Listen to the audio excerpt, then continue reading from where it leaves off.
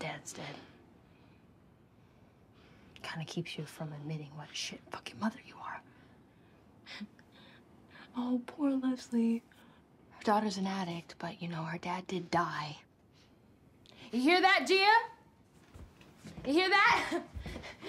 I don't want to put too much pressure on you, but you're probably gonna have to be a fucking neurosurgeon or maybe an astronaut. Because if not, then mom is O for fucking two, and that means that it might actually just be her fucking fault. Bruce. Yeah, that means maybe she actually fucked up. Okay, that's Being enough. fucking Rue. honest. That's enough. Don't fucking touch me. Don't fucking touch me. You wanna hit me? Shut Do it. Hit me. I know you want to get the